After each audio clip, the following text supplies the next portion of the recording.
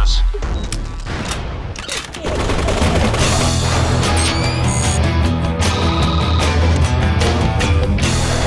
256 players.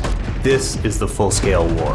Two PMCs going head-to-head, 128 players to a side.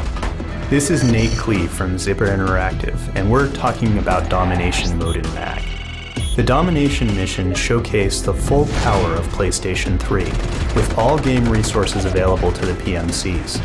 Domination missions are the most complex, with three distinct phases of combat. First, PMCs fight for control of burn-off towers. Then they fight to shut down the cooling towers. Finally, the attackers must overload the oil facility's system, forcing them to reach critical damage levels and destroying them. Maps offer a diverse mix of terrain and locations.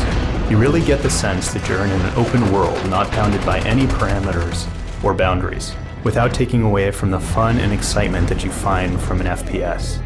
It's a great blend that again is really only possible on the PlayStation 3. But don't take our word for it.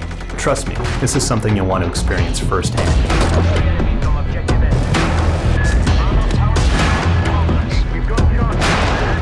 So choose a PMC and see what the Shadow War is all about.